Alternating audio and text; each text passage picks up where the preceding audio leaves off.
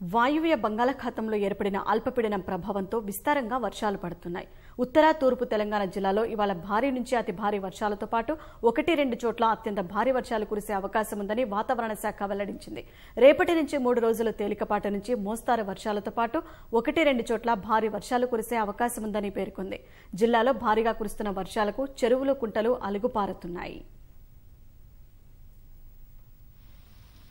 జిల్లాలో వర్షాలు దంచుకొడుతున్నాయి అల్పపీడన ప్రభావంతో కురుస్తున్న వర్షాలకు రహదారులు జలమయమయ్యాయి.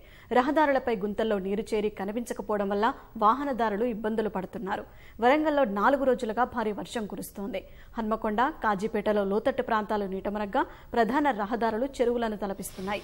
డ్రైనేజీలు పొంగిపొర్లుతున్నాయి కాలనీలోకి నీరు రావడంతో జనం తీవ్ర ఇబ్బందులు పడుతున్నారు. రెండు రోజుల నుంచి నీళ్ళలోనే ఉండిపోయామని వాపోయారు.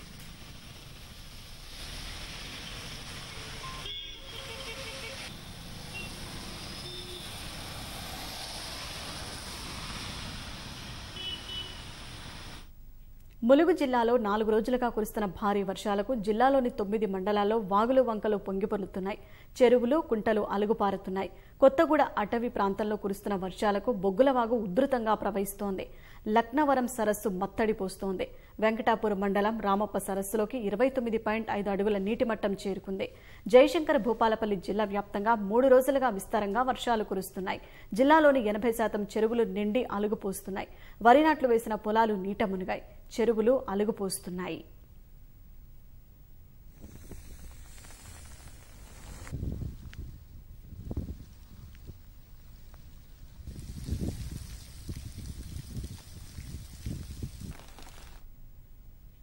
దేవాదుల పైప్లైన్ల ద్వారా విడుదల చేస్తున్న నీటితో వరంగల్ పట్టణ జిల్లా ధర్మసాగర్ రిజర్వాయర్ జలకల సంతరించుకుందని నిండుకుండలా మారింది. చుట్టూ నీటి మధ్యలో పచ్చదనాన్ని పరుచుకున్న ఎత్తైన గుట్టలు ఆహ్లాదం కలిగిస్తున్నాయి. వికారాబాద్ జిల్లా ధారూర్ మండలం కోటపల్లి ప్రాజెక్టు పూర్తిగా నిండింది. వరద తాకిడికి నాగసమందర్ ధారూర్ వంతెనకు గండిపడింది. రాకపోకలు నిలిచిపోయాయి. పెద్దేముల్ మండలం మంచన్పల్లి వంతెనకు సైతం గండిపడటంతో తాండూర్ హైదరాబాద్ మధ్య రాకపోకలకు అంతరాయం కలిగింది. తాండూరు వాసులు కొడంగ వరంగల్ పరిగి మీదుగా ప్రయాణిస్తున్నారు